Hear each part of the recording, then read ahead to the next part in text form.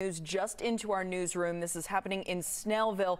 Police are reporting an accidental shooting of a seven-year-old by a nine-year-old. We're told that a gun was left in a vehicle while an adult was picking up food at a local Chipotle.